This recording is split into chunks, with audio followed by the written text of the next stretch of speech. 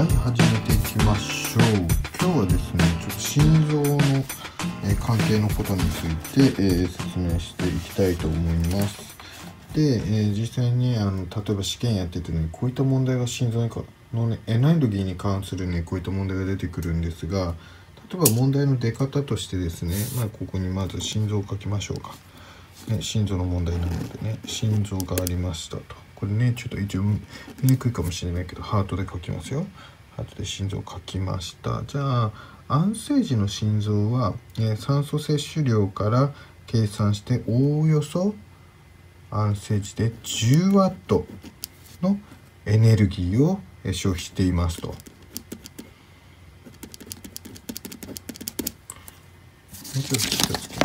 10ワットのエネルギーを消費していると。でこの心臓が心拍数が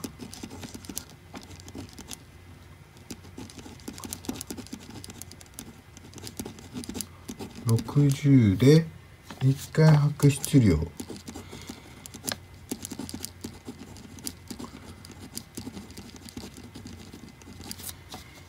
80ミリリットルの血液を拍出していると。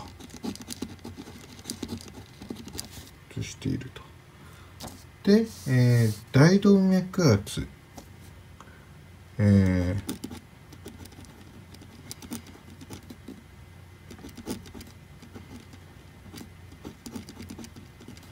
ー、が90ミリメートル Hg と。で、肺動脈圧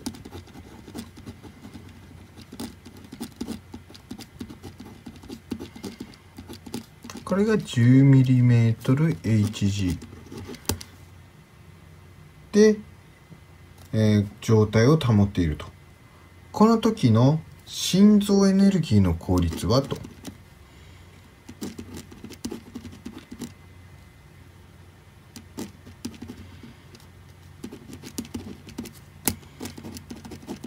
の効率はとこんな問題が出たとしましょう。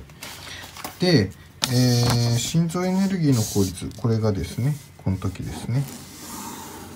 どうでしょうっていう感じの問題が出るんですね。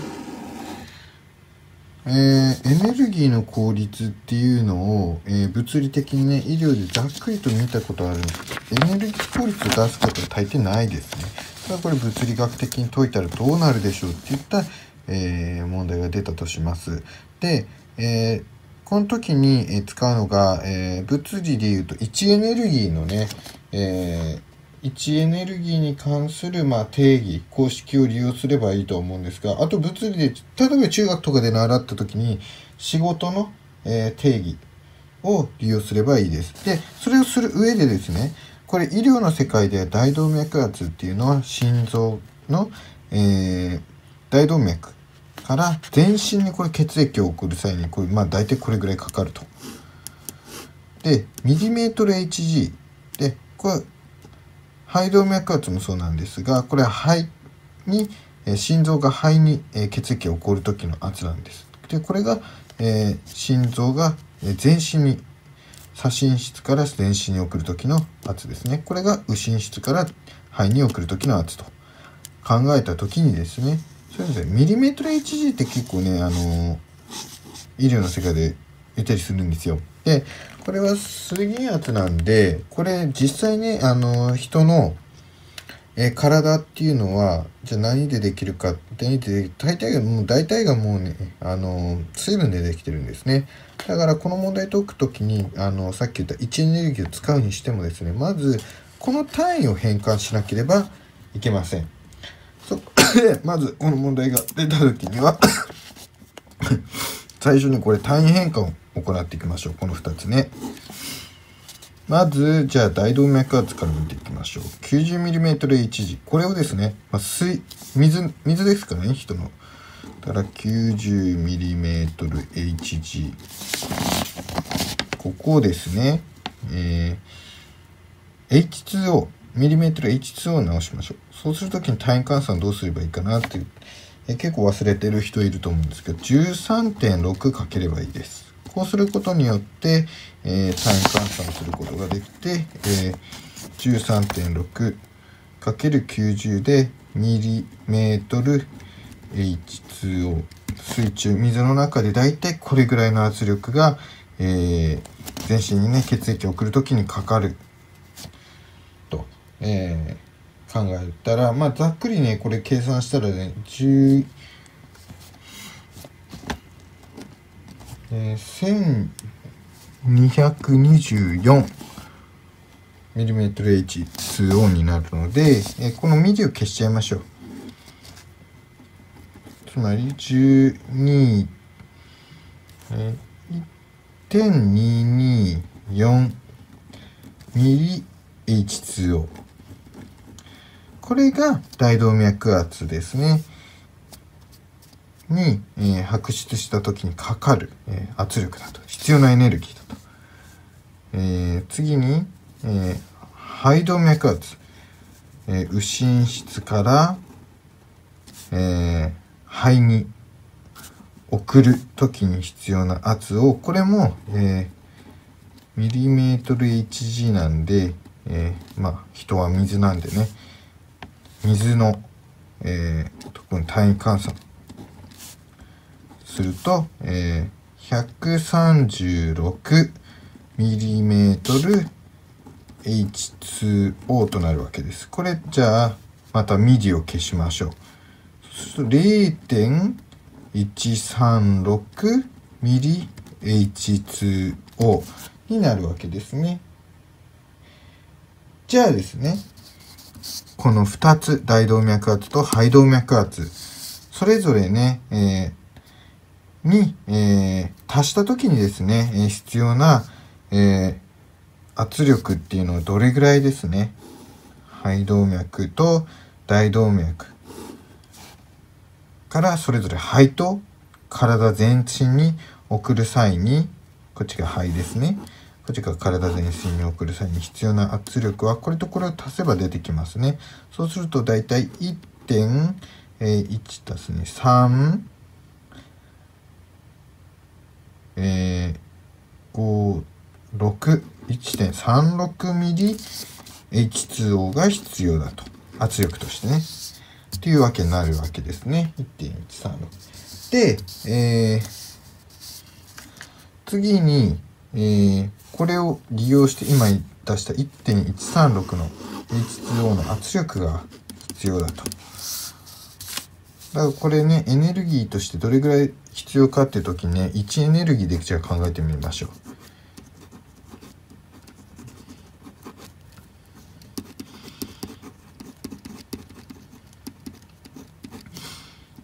位置エネルギーが必要な場合は、えー、量まずね質量。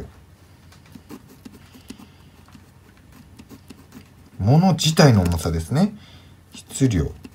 に、えー、我々は地球に住んでいるので重力加速度が加わるわけですね。これで、えー、まず重さと、えー、重さと、え、その物体自体の重さと、まあ、その重さに関わる重力。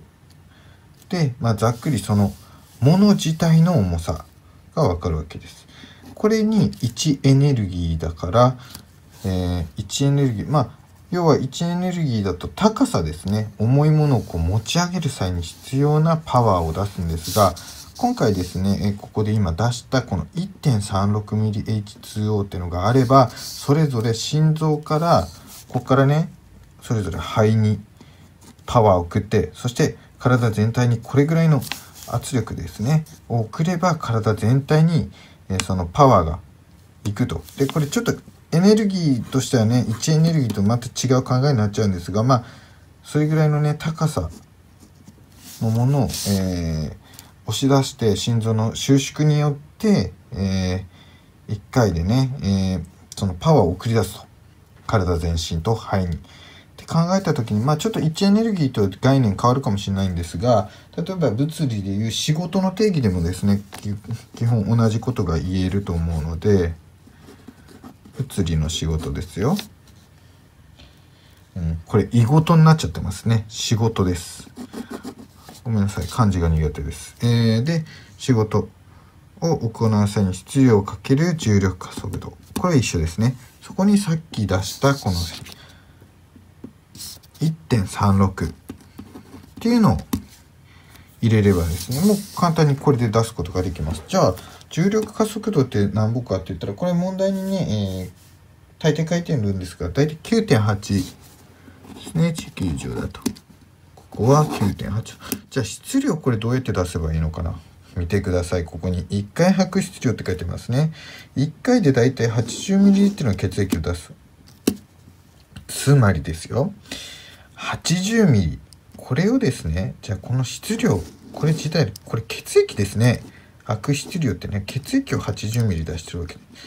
じゃあこれねこれ血液自体の重さってこれキログラムでねこれ仕事の時ってジュールの時ってねキログラムで出さなきゃいけないのでこれキログラムに換算しましょう。80分の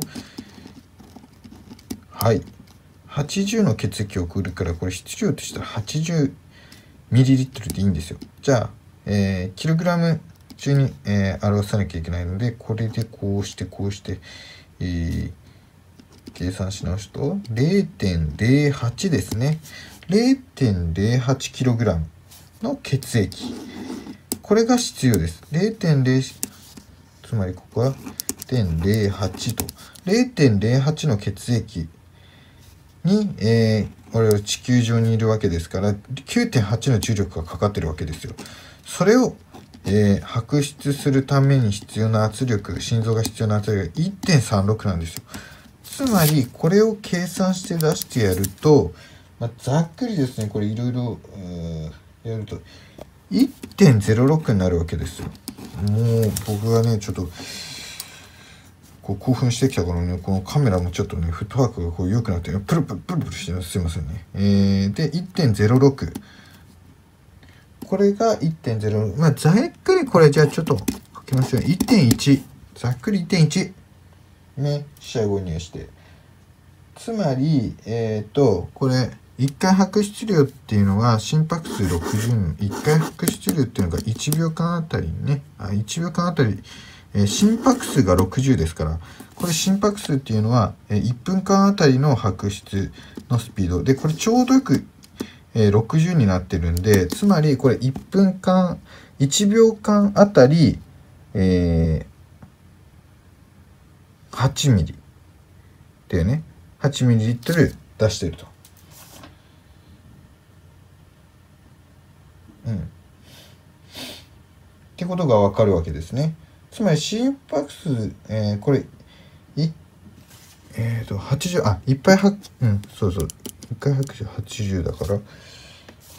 つまり、この、まあ今仕事、えー、式で出したやつは、えー、1秒間にいっぱい、1回心拍してる、拍動してることがわかるんですね。だから1回あたりのに必要な、えエネルギー、1秒間あたりに必要なエネルギーは11ジュール、1.1ジュール、1ジュールで OK ってことが分かりますね。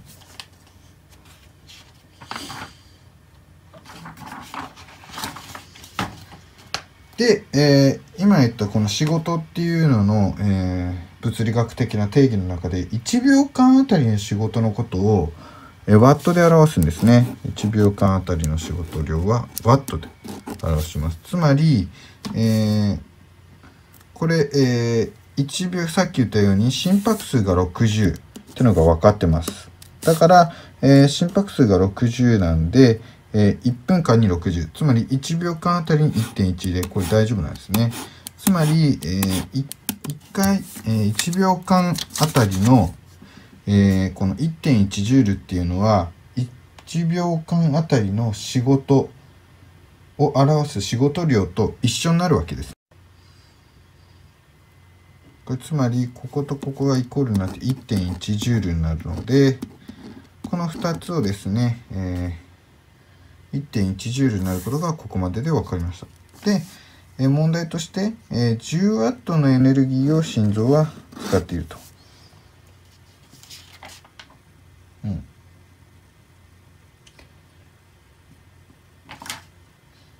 つまり、えー、エネルギー消費が10ワットに対して間違えた10ワットに対して回あたりに1.1ワットを使うわけですよ。